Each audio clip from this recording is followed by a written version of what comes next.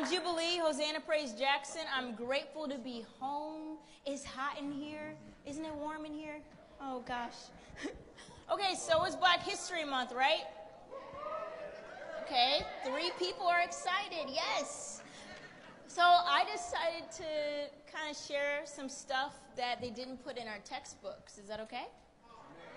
Okay, cool. What if I told you? What if I told you that everything is actually in reverse? That Yah's chosen people are the ones on earth who are living as cursed. That the first shall be the last, and the last shall be the first. And the American state and the American church can be institutions that can keep us in the dirt. Know your worth. What if I told you that He's the God of the oppressed? Sent His Son down in the flesh just to deliver the sinner from his mess. What if I told you that Christ came for the prostitute, drug dealer, and slave? You know, the people they told us to keep away? What if I told you that Christ ain't a blonde haired, blue eyed, chilling while you're sinning kind of guy, passive on oppression, drenched in privilege for the white? It's the exact opposite. American Christian, open your eyes. Do not conform to the patterns of this world, but be transformed by the renewing of your mind. And you know what saddens me? The fact that the black community has been overlooked and pushed aside and even lied to about their true identity. According to the Bible, genealogy, and history, the so called African American are the true Hebrew Israelites. I hope you heard me clearly. Because this ain't a joke, this ain't no extremist movement. This is deep, and we have no time for games. So, what if I told you the truth? Would you call me insane? Let's see. To my brethren, all my black sisters and brothers, Isaiah said he leave our name from being called the chosen. That's why in this country we're only known as Negroes and coloreds, but we're Israelites. And the people in the power knew that the Bible is our true history, so they painted Jesus white and made laws that prevent us from knowing how to read. But nowadays, they just keep us hypnotized by the dopest beats, so you can't even see the tactics that are keeping you asleep.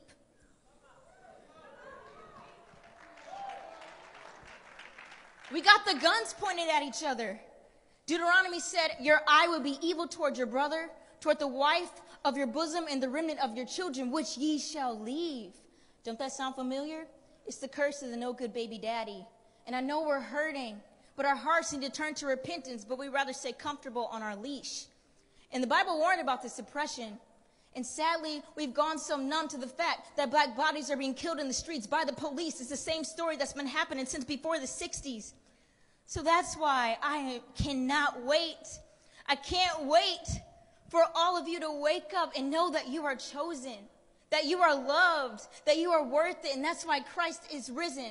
So next time you look in the mirror, remember that you are beautiful and that you are brave and that you are strong and that all men must come to an end. So the Most High is the only one worth pleasing. And blessings on blessings on blessings ain't not what you're thinking.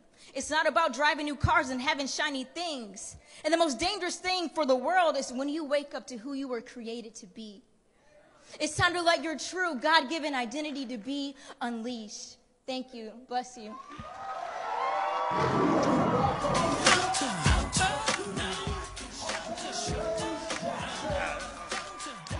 Do better than that? How many are having a good time tonight? That young man from Kingdom Music, oh my gosh. Not only did he rap in song, not only did he sing, but he ministered to us.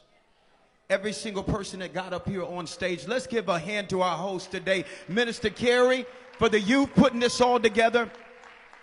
We thank God. It would not be possible being here tonight if it was not for a price that was paid. Number one, for Jesus Christ. He shed his blood for each and every one of us. Can I give everyone just to get on your feet and give Jesus a standing ovation tonight?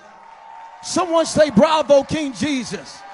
Someone say, Thank you, Lord, for the price you paid tonight.